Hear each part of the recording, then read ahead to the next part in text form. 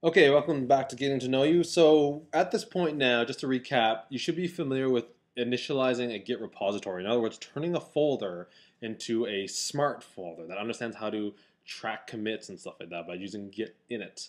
Then you should also be familiar with how to add files to a staging area and committing those as well, right? Now, one thing I should kind of uh, just kind of simplify a bit the view of this is that when you're committing, the idea is that you're kind of saving snapshots of your repository in time, right? So when you make a bunch of changes and you stage them and you commit them, you can basically view that as you're saving a state of your repository, right? You're you're saving that state uh, with these changes, basically. You're committing those uh, changes, and then that's a new state of the repository, right? It's almost like when you're saving a file, right? Uh, I don't know if you, you guys have dealt with like you know, working with people and you save files over and over again. You have all these different versions of the file, right? This is the same kind of deal. You have all these different versions of the entire repository. That's the idea of git committing. Now that comes really important when we talk about branching. So branching is an is an idea that maybe you want to save versions of the repository off in another area that other people don't care about. Okay, that's what branching is all about. And that's what we're going to talk about in this video. So again, the big reminder is that we're all dealing with our local repository, right? We're all dealing with this one thing on our computer, this folder. There's no idea of connecting to any server or anything like that, including this video. Okay, so the idea of branching is that as you make commits, right? When you go back to your uh, thing here, let me make the text a bit bigger for you guys. Maybe it's a lot easier to see. So if I do a git log, right? You'll see that I basically have all these commits that happen, right? Initial commit of instructions, and after that, initial commit of Joe, then Mitch, and so on, right? You have all these commits right here. Initial commit, initial commit of instruction, blah, blah, blah. You have all these commits. And what you're basically doing is you're recording, again, snapshots of the repository, right? And that's what these gray blocks represent, okay? So what I'm doing is, every time I do a commit, I'm recording a block, okay? But let's say now that you want to do some, you know, development off to the side. You want to change some files and you kind of want to do all that stuff off to the side and not really affect anybody else, right? Um, in fact, let's say you have two people working on the same repository and you want, you know, I'm going to work on my own area and have a bunch of commits over there, and you're going to work on your area and have a bunch of commits over there, and we're not going to affect each other, right? We're not going to look at each other. This is where the idea of a branching comes into place. Okay, a branch is almost like a play area. It's it's your own area where you can do your own thing, and the commits won't be seen on the other play area, the other branches. Okay. So without you really knowing it, all your commits that you've been doing today are what's called on the master branch. When you initialize a Git repository, the very first thing it creates for you is a default branch called master. So as you do commits, as you do commits, right, you're basically doing all of this on the master branch. In fact, if you do a git status, you'll see it says on branch master, right? Nothing to commit, right? So this, this is where the line of commits happens, right? It's all on this master branch. But Git allows you to kind of veer off to a different direction and create a new branch. So let's say I'm going to create a new branch. I'm going to take the snapshot in time at this place and go off, take a copy of that code, and go off and play in my own area and do my own commits, okay? So when I do my commits over on my own player area in my own branch, master is not going to see those branch uh, those commits until I explicitly tell it so, okay? And you can do this with a bunch of branches. You can create one branch over here and maybe create another branch over here where you have a bunch of commits over here. And again, none of these commits will interfere with each other. So you commit over here, this guy won't see anything about this guy. And same thing with the master, okay? So this is what branches are. They're essentially like play areas um, where you can do a bunch of commits and they won't affect the other branches, okay? All right, so that's what branching is all about. And I'm gonna have to watch the time on this video because I don't know how long this is gonna go. Branching is a pretty big concept. Okay, so let's just do a git status, okay? And we see that we're all up to date, nothing else to be committed or whatever. Now, let's say I wanna make a bunch of changes to README and I don't want them to affect the master branch quite yet, okay? So what I'm going to do is I'm very first thing I'm going to do is going to create a branch. So if you type git branch, you can actually see all the branches that are there already. And you'll see master is the only branch that's there right now, okay? So let's create a branch. We're to call it git uh, branch, and then we're to create it called red, okay? Now typically the name of your branch are usually things like features or user stories or something like that, right? In this case, I'm just going to use color code so we can keep track of where we are in this diagram, okay? So get, we can say red feature, okay? That's going to be the feature name, okay? And let's create a green uh, branch as well.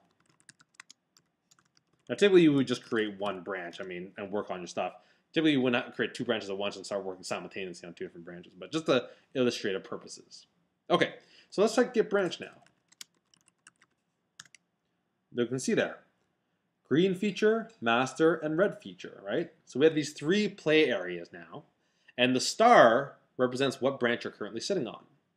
So if you want to switch to a different branch, all you have to do is use the git checkout command. So I'm going to switch to red feature. Switch to branch red feature. Okay. So if we do a branch now, you'll see I'm on the red feature. Well, let's switch over to the green feature.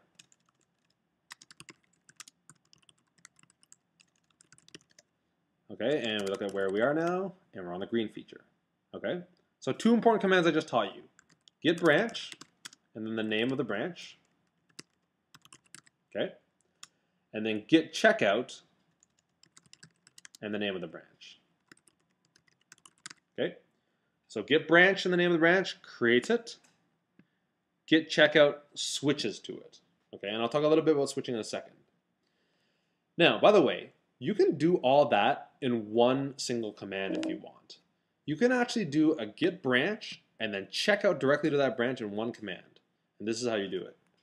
Git checkout dash B. So what that means is create a new branch and then checkout to it. Okay? So blue feature. Boom. So if I do a git branch you'll see it's created it and I've switched to it all in one step. Okay, very, very handy command there. All right, so we've created these branches and we've switched to them. Now here's where if you uh, have previous source control experience, this is where branching might get a little bit confusing for you guys uh, in Git because it's a little bit different. The best way I've heard it described is that when you check out to a branch, you're basically switching contexts, okay? In other words, you're switching to a different play area where all your commands will kind of go with that play area. Now that's a bit vague, so let me put that a bit more concretely. When you switch to a branch, you're basically saying that anything I commit will only be committed within that context, okay? So if I switch to the red feature branch and I do a bunch of commits, those commits will only be in the context of the red feature. In other words, if I switch over to the green feature, I won't actually see any of those commits, okay? If I switch back to the master branch, I won't see any of those commits in the master branch either, right? All your commits only apply to that branch, and that's how uh, branching works, okay? Now, it's a little bit curious, and it's a little bit confusing to be honest, um, how this works. And so I'm going to bring up uh, that other uh, that other diagram I had. Uh, okay. So remember this diagram about the untracked files and changes, staged files, and committed. Okay. So it's nice to have these two diagrams up because they'll help us along here. Okay. So, like I said, when you switch to a, a branch, what you're saying is that anything you commit is going to only apply to that branch. Now, the tricky thing here is stage files and untracked files will appear unstaged, sorry, will appear staged and untracked to every single branch. It's only when you commit do they actually apply to a specific branch. Okay, one more time. Any file that sits in here and any file that sits in here, that applies to all branches. Okay, so you have an untracked file and you go to any branch, that's going to appear as an untracked file in all those branches. It's not until you actually commit those files do those changes apply to a specific branch. Okay, so I'll give you an example. All right, let's make some changes here. Let's let's go to the red feature branch. All right, so in the red feature branch, we're going to look at the README file. Okay, uh, so let's go to the README file and let's add a piece of text here.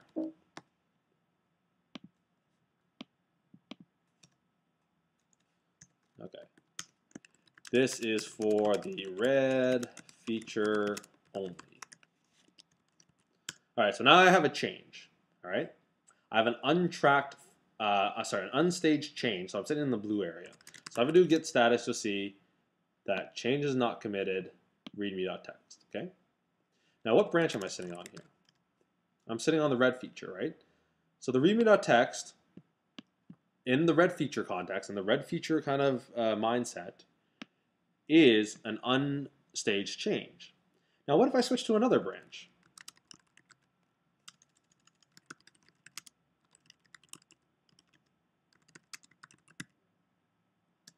Look, it's still an unstaged change, right? So any branch I go to, this change that I made, it'll look like an unstaged change. So changing a file when you switched out to a branch doesn't make it specific to that branch at that point. Remember what I said. It's only when you commit does it become specific to that branch, okay? So another way of viewing a branch is it's a label to apply your commits, all right? Okay, so let's go back to the red feature branch.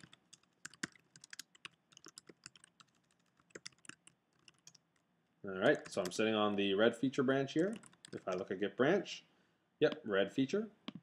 Now let's add the README file that the change I've made to the staged area. Git add, and I'm just going to use the shortcut dot in this case. So I look at the status. Okay, now I'm getting a little further. It's in the staged area. You see changes to be committed, so stage area. But let's switch up to another branch and see if what I'm saying is true. Check out green feature status. Look, changes to be committed.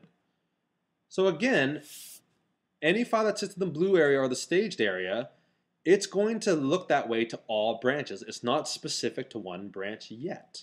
It's only when we commit. So let's actually do that now.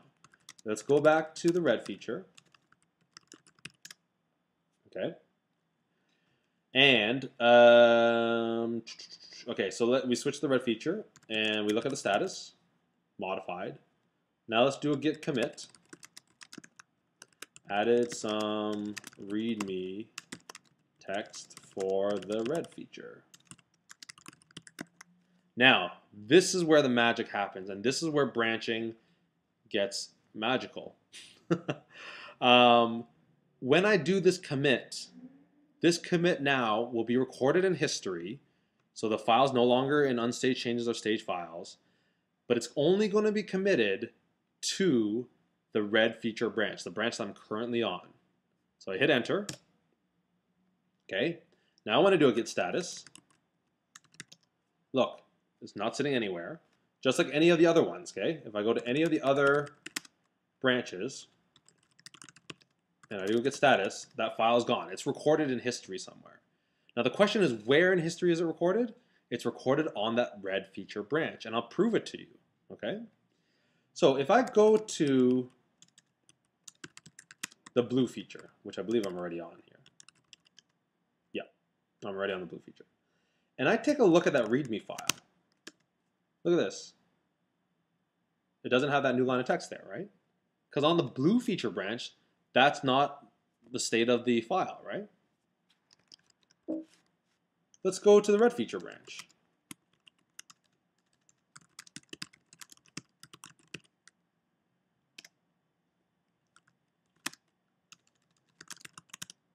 And look, it's sitting right there.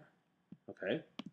So, the really important thing I want you to learn in this first video is that untracked files, unstaged changes, and stage files are not specific to a branch.